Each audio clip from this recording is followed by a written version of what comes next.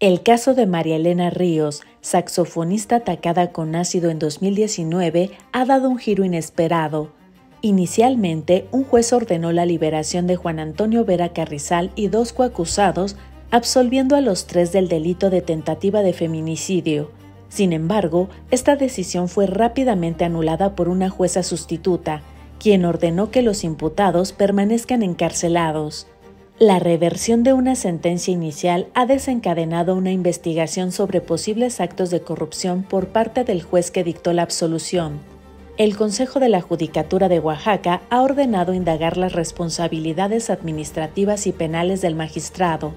La presidenta del Poder Judicial de Oaxaca, Berenice Ramírez Jiménez, expresó su desacuerdo con el fallo original, argumentando que dejaba desprotegida a una víctima de violencia. El caso ha generado indignación pública, especialmente después de que Elena Ríos denunciara que al juez le tomó solo 20 minutos absolver a sus agresores. La saxofonista ha acusado al sistema judicial de obstaculizar la justicia y ha hecho un llamado a las autoridades nacionales para que presenten atención a la situación en el Tribunal Superior de Justicia de Oaxaca. Este incidente pone de manifiesto las complejidades y desafíos en la lucha contra la violencia de género en México.